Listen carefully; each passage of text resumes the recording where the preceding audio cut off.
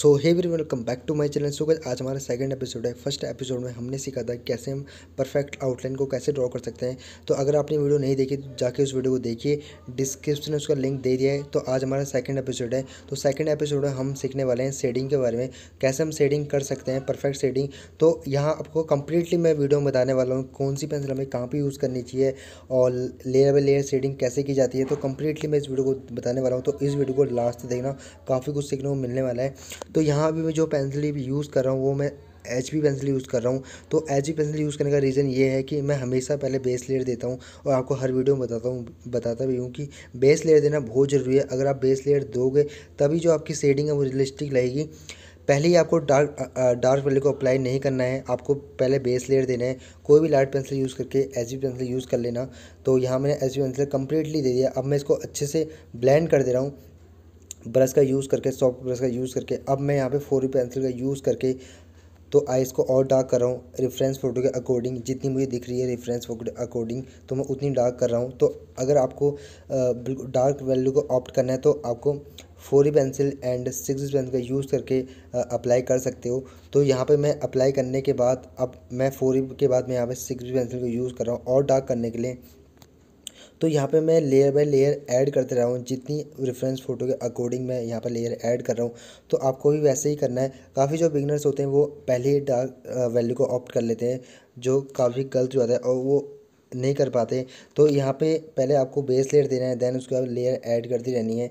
तो यहाँ पे मैंने ऐसे ही यहाँ पे कर रहा हूँ। तो यहाँ पे मैं अब इरेजर का भी यूज़ कर रहा हूँ। पेंसिल रेजर का तो जहाँ पे मुझे हाईलाइट दिख रही है, वहाँ पर मैं हाईलाइट दे रहा हूँ। तो आपको ऐसे ही बिल्कुल कम्प्लीटली आपको बिल्कुल ऐसे ही सेड करना है। आपको रिज़ल्ट भी काफ़ी अच्छे मिलेंगे।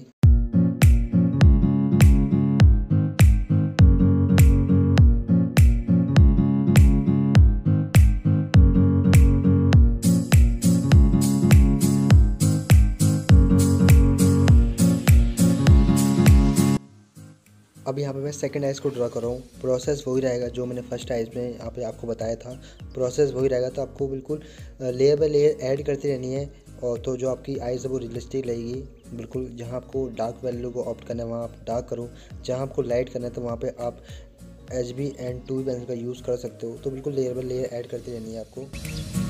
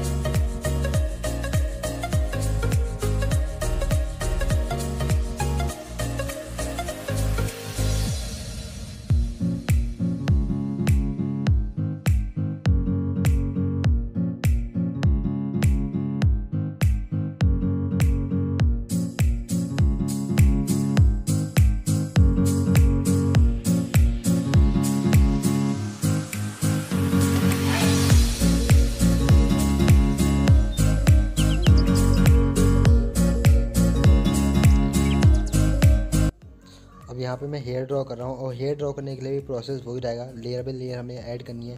तो यहाँ पे जो मैंने फ़र्स्ट लेयर ऐड करी है, वो मैंने फोर पेंसिल का यूज़ करके यूज़ करी है। तो यहाँ पे मैं पूरे फोर पेंसिल से पूरा यहाँ पे हेयर को सेट कर दूँगा। देन उसके बाद मैं ब्रश का यूज़ करके उसको ब्लेंड कर दूँगा।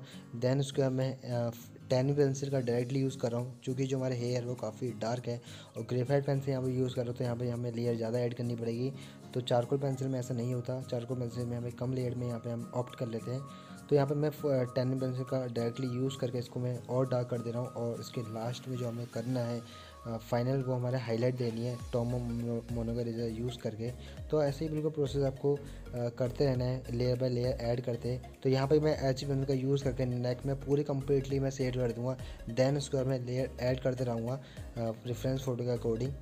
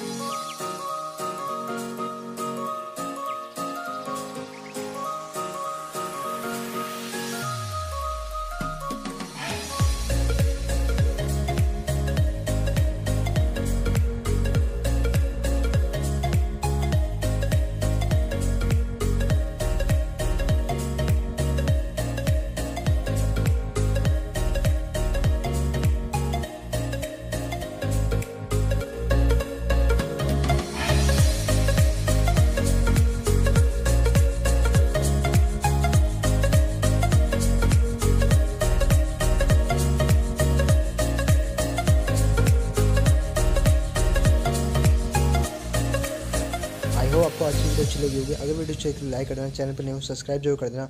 और जो भी आपके डाउट्स है प्लीज़ कमेंट बॉक्स में ज़रूर बताना। उसके उसके ऊपर मैं वीडियो लेके आऊँगा और डेफिनेटली जो आपके डाउट्स हैं वो क्लियर करूँगा।